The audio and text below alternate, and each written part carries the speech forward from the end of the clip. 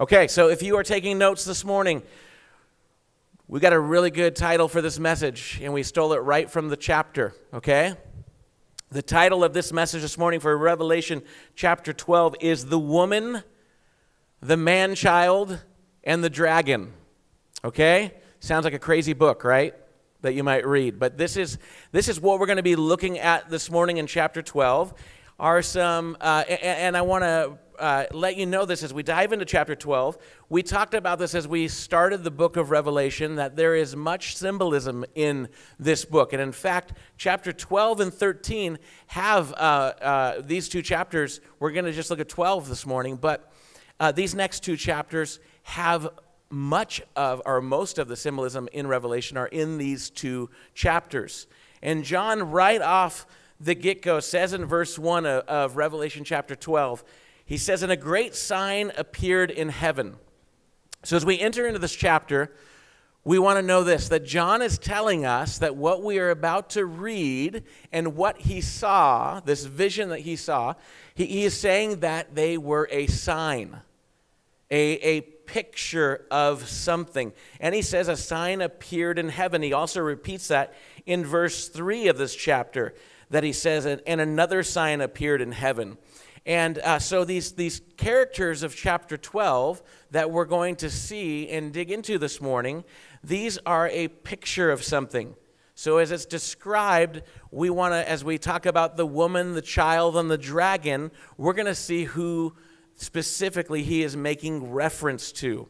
So he says in verse 1 again, the opening, he says, And a great sign appeared in heaven, a woman clothed with the sun, with the moon under her feet and on her head a crown of 12 stars. John actually uh, uses uh, women in Revelation as a sign in, in a few chapters. He actually um, talks about Jezebel in chapter 2, who represented paganism. He uh, talks about in chapter 17, which we'll see in a few weeks, he talks about the scarlet whore that we'll look at. And then he also talks about in chapter 19 the wife of the Lamb. Guess who that is? Us, right here. We are the bride of Christ. So he, he uses these signs. Again, they are a picture of something. So we're going to look at the woman and who is this woman that John is talking about that's clothed with the sun, with the moon under her feet, and on her head a crown of 12 stars? Well, there are a few different thoughts on who this woman is. First off, it's important to know this the Catholic Church has typically leaned towards this as being Mary, that they believe this is Mary, the mother of Jesus. Now, in fact, the Catholic Church puts a lot of emphasis on Mary, sometimes even more than Jesus. And, and uh, Jesus is it. Amen? Jesus is it. Mary was awesome, but Jesus is it. He's the Son of God. And, and they lean towards this being possibly Mary. But here's the thing that's important to know many times in the Old Testament, uh, God used a picture for describing Israel. And in fact, Israel, many times, just as like the church today is described as the bride of Christ, Israel was the wife of Yahweh. In fact, if you've never read the book of Hosea in the Old Testament, it's all about Israel the wife of Yahweh being unfaithful to God. By going after other gods, by going after idolatry. And again, it's very, throughout Scripture, it's woven through that Israel was pictured as the bride or the wife of God, and then the church now is the bride of Christ. So we, we lean towards this, and here's why. We're going to have a cool verse we're going to look at. But we believe this that the woman here in chapter 12 is not Mary. Uh, this woman is not an individual woman that he's talking about. In fact, there was, let me see if I can find her name here. Um, there was a lady, this is, was in the 1700s, and her name was Joanna Southcott, and she was a self proclaimed prophetess. And I thought this was interesting. I've never heard of this woman before, but maybe you have. But she uh, believed that this woman in Revelation 12, she started informing her followers, which she gained close to, I think, 200,000 followers. she believed and told people that it was her that this woman was her. And uh, we're going to even see that this woman is going to give birth here in chapter 12. And she proclaimed that she would give birth to this child that Revelation 12 was talking about. Well, guess what? She died in the 1800s and never gave birth to a child, a man child, and was never the woman that is described here. We believe that the woman here in chapter 12 is Israel. This is what we're looking at. John is saying their great sign appeared in heaven, and he describes this woman, and, and he describes this woman, and then her description is where we find that this is Israel, that John is making reference to Israel. Here's what's cool. Turn with me to the very first book of the Bible, Genesis. Genesis chapter 37. Genesis 37.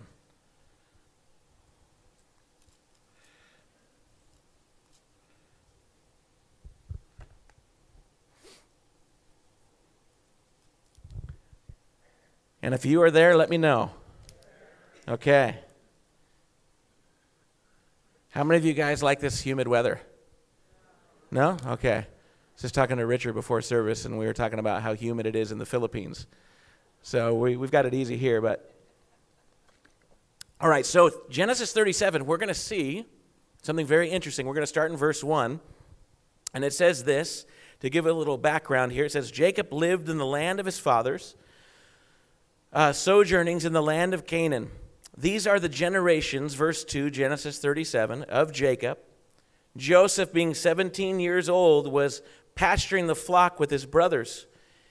He was a boy with the sons of Bilhah and Zilpah, his father's uh, wives, and Joseph brought a bad report of them to their father. Now, Israel loved Joseph more than any other of his sons because he was the son of his old age and he made him a robe of many colors. But when his brother saw that their father loved him more than all his brothers, they, ha- they hated him and could not speak peacefully to him. Okay, so we're not going to get into a, a study of Joseph this morning, but just keep in mind, we already know this that Joseph is a tattletale. Okay, it tells us right here that he would go and give a bad report of his other brothers to his father.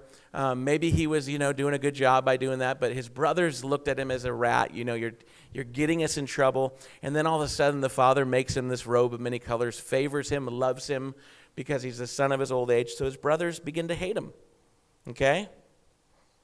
And it says there in verse 3 that Joseph, uh, that Israel, Jacob, loved him more than any other of his sons. Dangerous.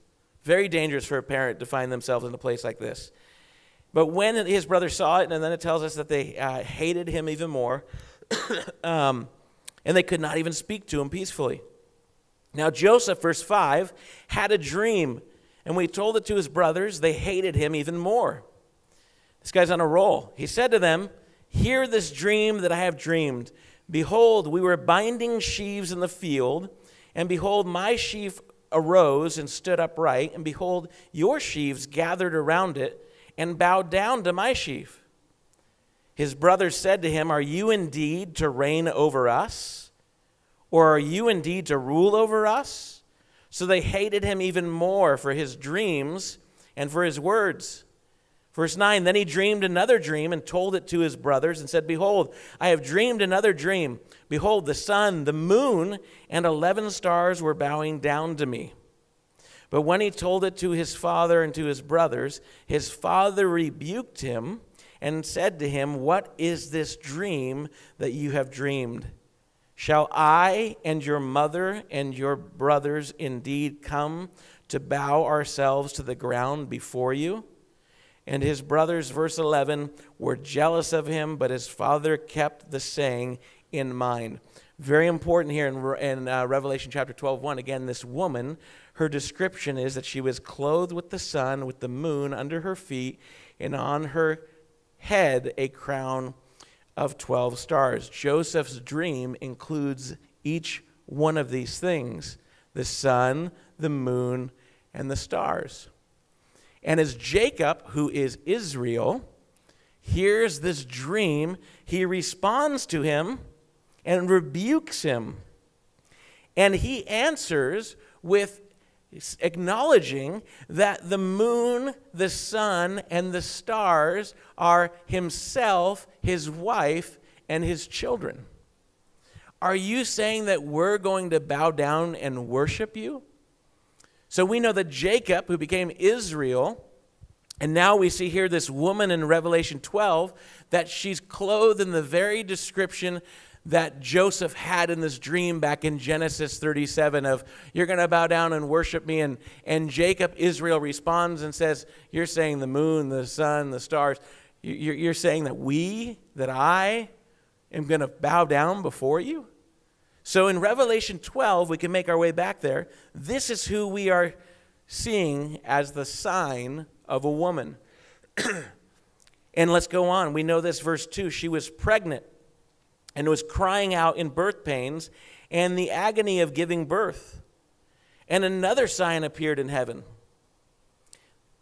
Again, a sign, a picture of something. Another sign appeared in heaven Behold, a great red dragon with seven heads and ten horns, and on his head seven diadems. His tail swept down a third of the stars of heaven and cast them to the earth. And the dragon stood before the woman who was about to give birth so that when she bore her child, he might devour it.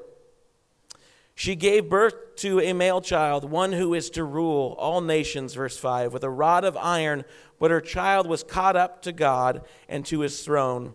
And the woman fled into the wilderness where she was where she has a place prepared by God in which she is, she, which she is to be nourished for 1260 days. Okay, so we have the woman and now we have the red dragon. And the red dragon, we believe this, which is very evident, that the red dragon is Satan. So you have Israel. In Israel, we see that she's this description of a woman is pregnant with child. Who's the child? Jesus. Jesus is the child that Israel is pregnant with, and you might be very confused right now saying, well, how is a nation pregnant? Well, what John is, is painting for us here, what he's seeing, this vision, what he's describing to us is that Jesus, the Son of God, the Messiah, came through Israel. Was not only born in Israel, but was born through the lineage of Israel. And, and here, this woman, Israel, is pregnant with child. If you remember, Isaiah 9 6 says, Unto us a child is born, unto us a son is given. That was Isaiah talking to Israel, saying, Israel, unto us, through us, a son will be born. this son, this child that we see here that the woman is pregnant with, is Jesus himself. Romans 9, 4 and 5 says this They are Israelites, and to them belong the adoption, the glory, the covenants, the giving of the law, the worship, and the promises. To them belong the patriarchs, and from their race, according to the flesh, is the Christ who is God over all, blessed forever. Amen. Israel, we need to know this, folks. Israel is very important. Very important. Israel, the Jews are God's, if you know this, his what? Chosen people. We know that Israel, all through the Old Testament, Israel was the prominent figure of God pursuing Israel, going after Israel. Israel finding themselves again, like the book of Hosea, constantly going after those that were around them. God saying, You don't need a king. I'm, I'm your, I am your God. But we want to be like everybody else around us. We want to be like all the other nations. And they pursued what everybody else had. And God continued to pursue them with his love and ultimately the ultimate pursuit of sending his only begotten Son, Jesus. The woman Israel, the child Jesus, and then as we see the child, we see right away the dragon the red dragon. And the red dragon has some things that, that describe just like the woman we saw with the sun and the moon and the stars. And we're going to get into a little more of these next week as we're in chapter 13. But the red dragon, as we see in verse 3, uh, we see that he had uh, seven heads, ten horns, and on his head, seven diadems. We're going to get into this a little more next week as far as what are these horns, what are these heads, what are these diadems, but we know this that Satan has always been after the pursuit of power. Power. Satan has always been after the pursuit of power. In fact, we'll put this up on the screens, but you guys might be familiar with this passage from Isaiah. Isaiah 14 says this How you are fallen from heaven, talking about the devil, again, who was an angel in heaven. How you are fallen from heaven, O day star, son of dawn, how you are cut down to the ground. You who laid the nations low, you said in your heart, I will ascend to heaven above the stars of God. I will set my throne on high. I will, I will sit on the, mount, on the mount of the assembly in the far reaches of the north. I will ascend above the heights of the clouds. I will make myself like the Most High. I, I, I, I, I. See, Satan craved power. Satan craved power. Satan craved position and he wanted to be above God. And we're going to see as this unfolds in this chapter, as we see him pictured here with these diadems, he is going and he does actually have power today here on earth. And most of his power is through nations. And during this time of tribulation that is to come, we're going to see that he will align people together under his authority and his headship and his power. But ultimately, it's so that he can be worshiped. He can be worshiped. That is his desire, ultimately, is that he would be worshiped. Look what it says also in verse 4. His tail swept down a third of the stars of heaven and cast them to the earth. And the dragon stood before the woman who was about to give birth, so that when she bore her child, he might devour it. These stars, we're going to see just in a few verses, are actually angels that actually fell with Satan, that rebelled with Satan, that he took with him. But we see as the child again is mentioned in the woman, we see that the red dragon, the great dragon, he is standing before the woman, waiting for the child to be born so that he may devour it.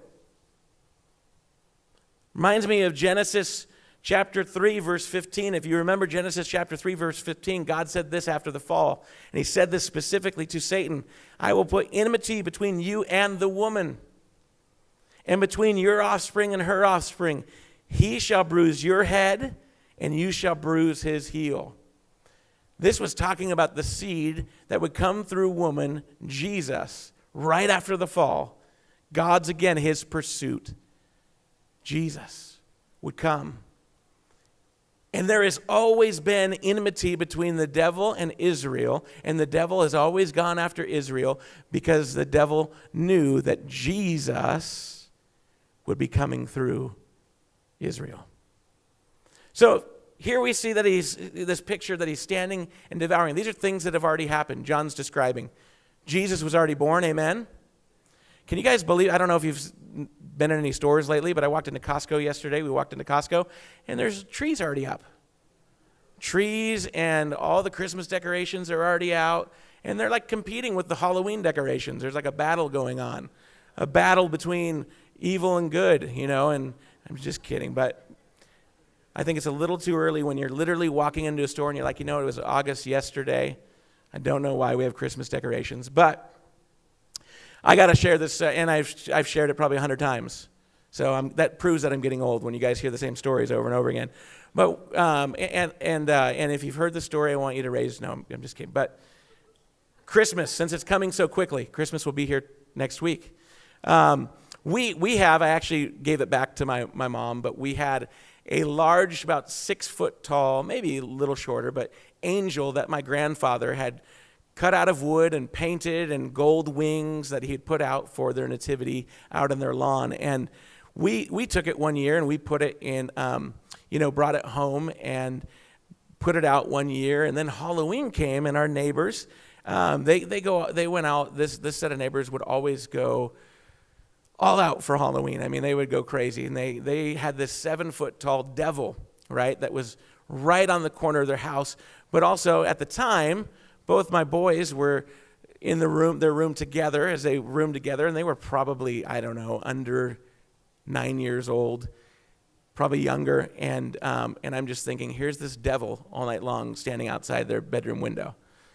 So it's Halloween. I decided what a perfect time to bring the angel out and put it right on our side of our house facing the, the devil. So it was, it was good. It was a battle. And they, I was doing it kind of like, ha ha ha, you know, and they, I think they got really, oh gosh, we've offended them. You know, we had better take the devil down. So it was good. But Jesus is the issue of why Satan has enmity with Israel. God's chosen people, but he knew that Jesus would come through Israel. And here we see that he's ready and waiting to devour the child. If you remember the story of Jesus' birth, Matthew chapter 2, the wise men, actually after Jesus was born, went to pursue to find Jesus to what? Worship him. I want you to keep that thought in your mind worship. And as they pursued the star in the sky, they ran into King Herod. And they let King Herod know what they were doing. We're going to go worship this new king, the king of the Jews that was born. And Herod hears this news in Matthew chapter 2. And Herod plays along with them. All right, when you go and see him, you come back, give me word where he's at, and I'll come myself and bring him gifts and worship him. And we know that Herod was, was lying. And we know after that that the wise men did not return back to Herod, and Herod had every child under the age of two killed in the area of Bethlehem where Jesus was born. The devil tried to devour the child. Again, how does he work? Well, he works through nations, he works through kings, he works through rulers, he works through all sorts of things. Herod tried to devour Jesus as a baby. But guess what? Didn't happen. Didn't happen. We're going to wrap up here because as he tries to devour the child, we see something else happen. In verse 6, we know he was not successful because it says, actually, verse 5, that she gave birth to a male child, one who is to rule all the nations with a rod of iron. But her child was caught up to God and to his throne, and the woman fled into the wilderness, where she has a place prepared by God in which she is to be nourished for 1,260 days. Okay, very important we look at these, this verse right here because um, there can be confusion again. If you remember, um, Jesus, when he was a child, um, an angel came to Joseph and told Joseph to flee where? Do you remember? Anybody remember? Egypt. Okay. So some will then again go back and go, well, this must be again talking about Mary because Mary and Joseph fled with Jesus to the wilderness, in a sense, to Egypt. But no, there is a, a timeline given 1,260 days. Very important to hold on to this. Because if you remember, last Sunday we looked at chapter 11, and the two witnesses, they were appointed a time to prophesy and to witness and to tell people to repent for 1,260 days. This amount of time, again, lines up with which we looked at several weeks ago Daniel chapter 9 and his prophecy of the 70 weeks. And this 1,260 days lines up with the 70th week. This will be, again, the second half of this seven year time of tribulation. And, and this is not Mary fleeing with Jesus because look what it says before she flees for the 1,260 days. It says that the child was caught up to God and to his throne. John, right there, is making reference to the ascension of Jesus. He was born and then he was ascended after his crucifixion and resurrection to the throne with his Father God. So she flees, and here's what's awesome. Look at the word nourished. Do you guys see that word? It might be different in your translation. But she's out in the wilderness for 1,260 days, Israel. She will be nourished, which means God will take care of her. Shows us again God continually wanting a relationship with Israel. Nourishing, taking care of. They will flee to the wilderness, eh, the, the people of Israel. Many believe now we're, we're, we're shifting from, we know that Jesus was born, Satan tried to devour. Now we are shifting and we're going to a future event, these 1260 days that will be in the second half of the tribulation. And many believe this will be people of Israel fleeing to the area of Petra. Has anybody by chance been to Petra here? Okay, cool. Awesome. Petra's an amazing place. I've seen it only on postcards. You're so lucky. No, I'm kidding. I've actually been there. You can ride in on donkey, you can ride in on a horse. Um, I got a, a four wheeler and rip the whole place. No, I'm just kidding. But you can go in and there is caves, there's rocks, there's places to you could hide. I mean, there's buildings carved out of the sides of walls. It is a magnificent place. But this is where many believe that these people during this time will flee to. And in fact, there is talk that Christian businessmen have actually funded and gone out and placed resources in some of these areas that will hopefully be there for when this happens for those that flee into the wilderness. Things that would nourish them tracts, scripture, Bibles, things that talk about Jesus, evangelistic material that will be there waiting for these people that will flee to the wilderness. That's pretty amazing. When you think of He will nourish, and maybe that's going to be through people today that are saying, let's go and, and, and you guys might say, there's no way people would do that. I'll tell you there is. People are crazy. They do all sorts of stuff. If you ever heard of the thing, if you guys have never heard of this, pretty awesome thing called geocaching. Anybody heard of geocaching? So if you have kids, this is great. If you're an adult, it's great. If you're a couple and you're looking for something fun to do, try geocaching. There are little caches or things that people have placed all over, all around the world. And they give you just, all you get is the GPS coordinates. And you go and you look for it. Sometimes they're in the desert. Sometimes they could be in a pole right out here that you find a hole in a pole and there's a little capsule with something in it, a prize or a, a map to the next location. How cool would it be to, to think that maybe there's people today that are saying, let's, let's leave things of nourishment for these people that will flee out to this area? Pretty amazing. So here's what we're going to do we're going to wrap up 1,260 days. And then the rest of the chapter it's kind of interesting. We see the woman Israel. We see, um, we see the child Jesus. We see the dragon trying to devour the child Jesus. And then we're told of this war that happens in heaven. And this would be pre fall of Satan. This is what led to his fall. Verse 7 says, A war arose in heaven. Michael and his angels fighting against the dragon, and the dragon and his angels fought back, but he was defeated. And there was no longer any place for them in heaven. And the great dragon was thrown down, the ancient serpent who is called the devil and Satan, the deceiver of the whole world. He was thrown down to the earth, and his angels, again, those stars, the third of stars that fell, that he swept with his tail, were thrown down with him. And I heard a loud voice, verse 10 in heaven, saying, Now the salvation and the power and the kingdom of our God and the authority of his, of his Christ have come. For the accuser of our brothers has been thrown down, who accuses them day and night before our God. And they have conquered him by the blood of the Lamb and by the word of their testimony, for they love not their lives even unto death. Therefore rejoice, verse 12, O heavens, and you who dwell in them. But woe to you, O earth and sea for the devil has come down to you in great wrath because he knows that his time is short. We're going to stop right there. And I want to close this up by really, I think, looking at the fact that what we see here in chapter 12 is a big picture of really from Genesis to Revelation.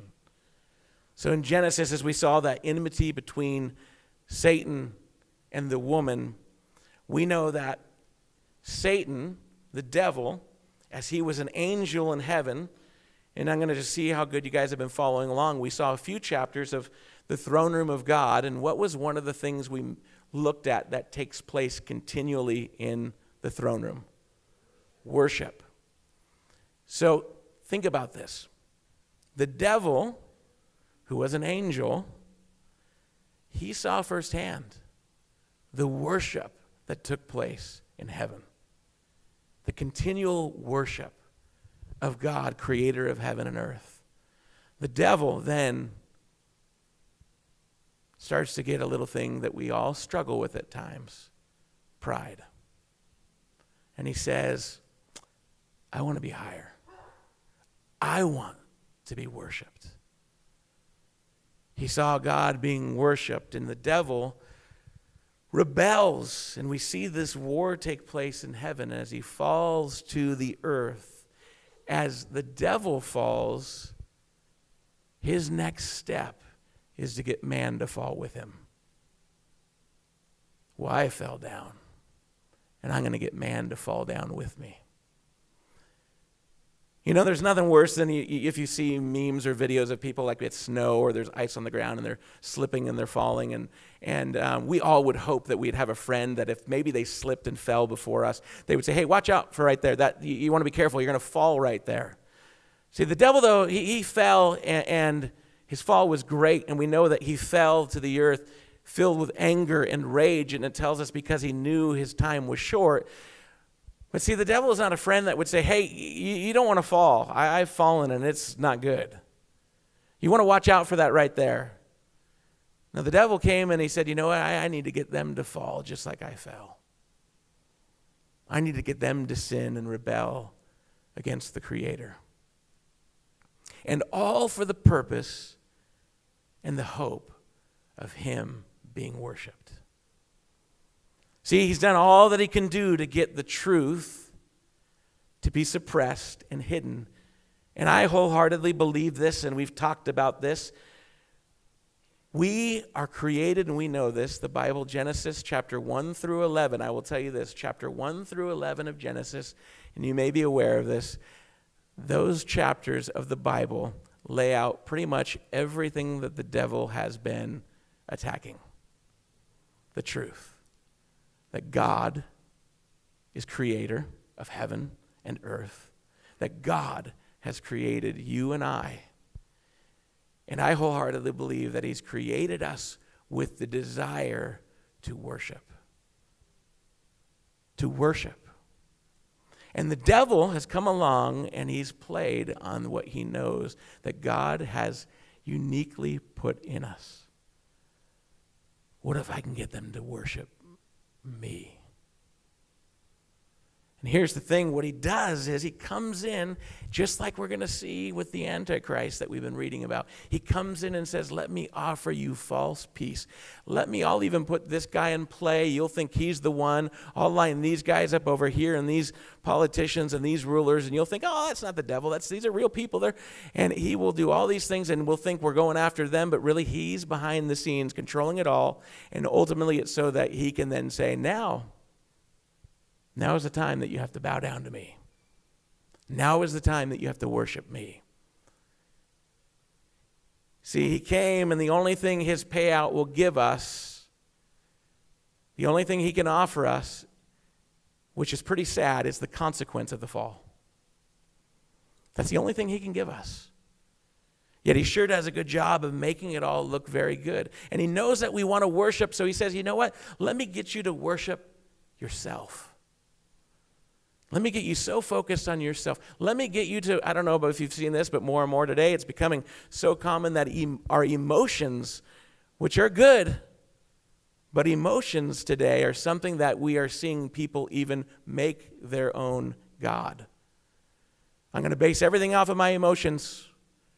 I'm going to take all my. Imagine if we made all of our decisions based solely on our emotions. That's what we're seeing today. A lot of people are making decisions based solely on emotions. Emotions, I believe, are given to us by God for us to say, something isn't right. I need to talk to my Creator. I need to look to my Creator for His wisdom and His direction.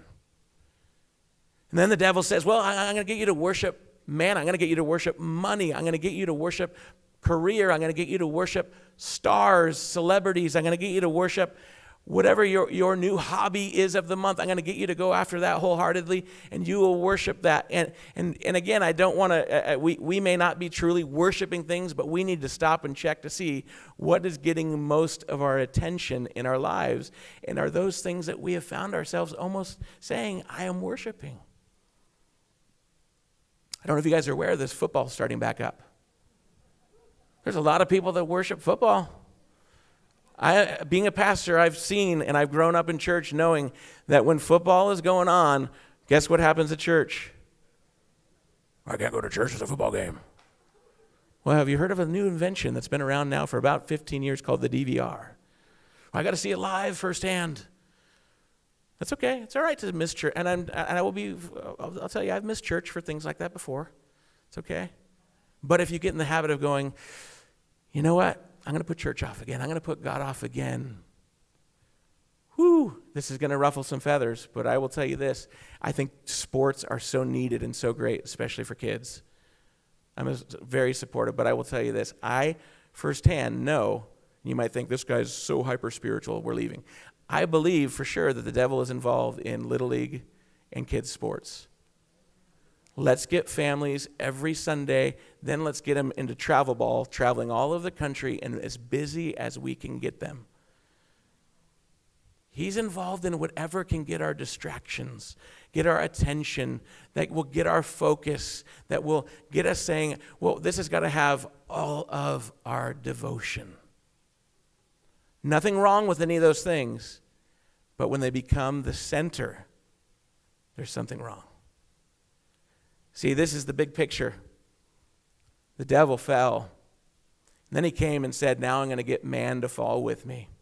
And now that Jesus or God has the plan of his son Jesus that's going to come through Israel, I will pursue Israel. I will go after Israel for that child and I will devour that child.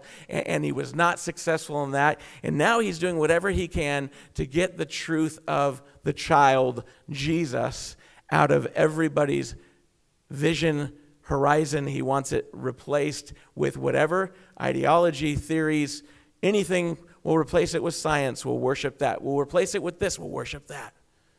But all of it ultimately, remember, is for us to one day to have to choose, now you're going to have to worship me. This is why, ladies and gentlemen, we need to be wise as serpents and gentle as doves in the time we are in. Because it's going to get hard, it's going to get difficult, and there's going to be a time where we truly will be told, you want to live in society and do normal things and be able to purchase and buy things and sell things and trade and go to work and get a paycheck. Well, if you're going to do that, then you're going to have to take my mark. And many people will think, nah, the devil's not behind this. This is finance. the devil is in finance, trust me. He's back there working in all angles of finance. The devil, oh, this can't be the devil. This is just a streamlined thing because cash is dirty and we get germs from money and we, you know, and we, it just all makes sense. We've got, it will all look like it's right, easy, convenient for all of us. But think about just this, the, the, the wisdom even of man that would come along and say, hey, is the best way the easy way? How many coaches did we have maybe growing up that would say, Really, you want to go the easy way? You want to go the convenient way? If you want to succeed, you got to put work and effort into it. And there's going to be things that will be presented to us that will be the convenient, most logical, easy way. Wise as serpents, gentle as doves.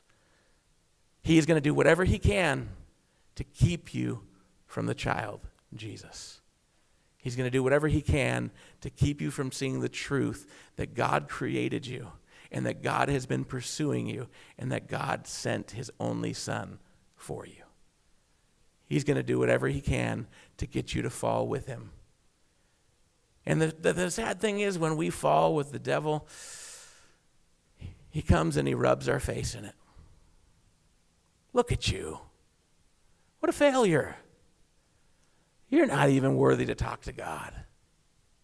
You're not even worthy to have a conversation. Don't even bother or think about praying to him for help. He's not going to talk to you. You look what you just did. Look what you fell into. And God's right there saying, "No, no, no, no, no. I will pull you out and I will redeem you with my righteous right arm." Amen. Let's pray. God, we want to thank you this morning that we have the big picture. And I know at times when I read a book like Revelation and, uh, Lord, start to study it and look at it, there can be so many things in here that are perplexing, that bring question. And, and, and again, we've talked about these things. Many people come up with ideas of what this or that is, Lord. But when we see the big picture like this, we're reminded that it's always been about you and us. It's always been about you being God and creator and giver of life, and the devil trying to destroy life. His payout, if we choose to worship and follow him, is death. Your payout is life and life abundant. Peace, joy, hope, love, gentleness, faithfulness, all, all the fruits of your spirit, all of who you are. And the devil comes along and says, No, no, no, no, let me, let me show you what you want to worship.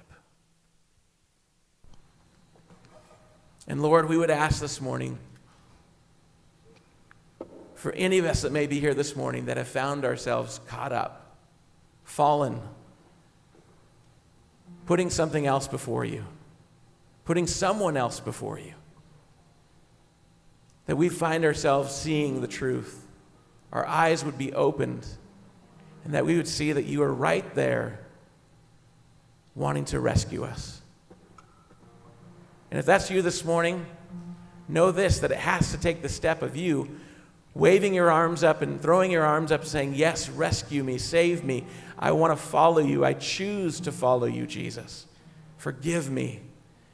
And it will take you acknowledging that He is God, creator of heaven and earth. Maybe you've been stuck and just thinking, well, why isn't he pulling me out? Why isn't he doing it? Why hasn't he saved me yet? But you have to take that first step. He's already done it all of sending his son who died on a cross for your sins, who will give you the hope of eternal life. He's done that. And this morning, what he wants of you is just to say yes to it. Yes, I accept it, Jesus. I accept your work, and I ask that it would take place in my life. It's all you have to do this morning. If you want to be forgiven of your sins, and you want to know that if you were to die today, where you will be going, you surrender to Him. And then you pick up your cross and you follow after Him.